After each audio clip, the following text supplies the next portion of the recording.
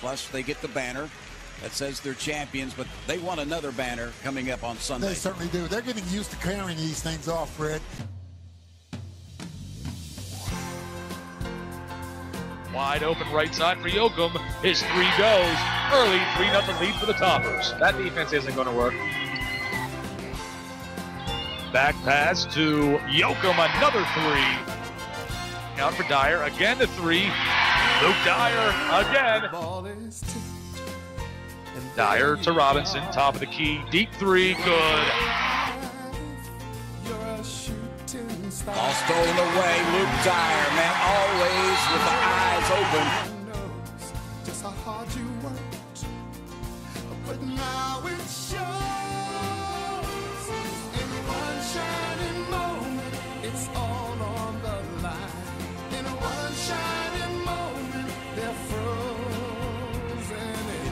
In They lost it. Luke Dyer saved it to get to Dalton Bowling. Everybody knows. Time is short, and the road is long.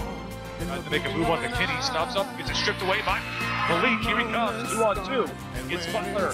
Shot. It's good. Win or lose, you always did your best. Flying up the floor to Bolden. Keeps it himself. Puts it up. And good.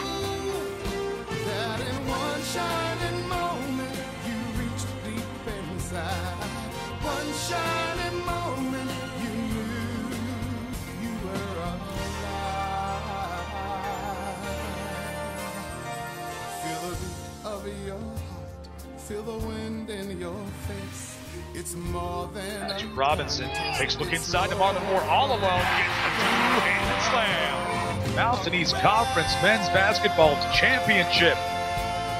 Top of the key, left side for Marlon Moore. A three, good. Will Yoakum flying, dunks it down.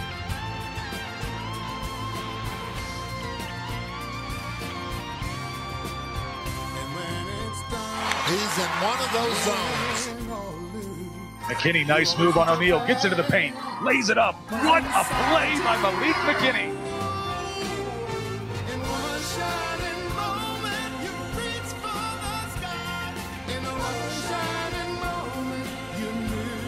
Moore doing it all. He's got 23. you're willing to try. In one shining moment, you knew.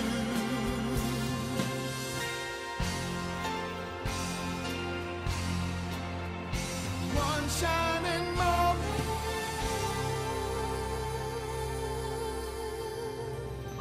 And for the first time since 2017, the West Liberty Hill Toppers are once again high atop the Mountain East Conference.